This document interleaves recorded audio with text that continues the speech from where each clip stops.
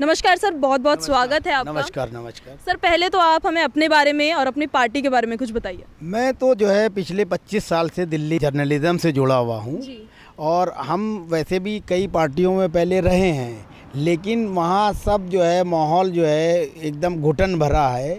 और किसी भी आदमी को ईमानदारी से जो है देश हित में जनहित में काम करने का मौका नहीं दिया जाता है।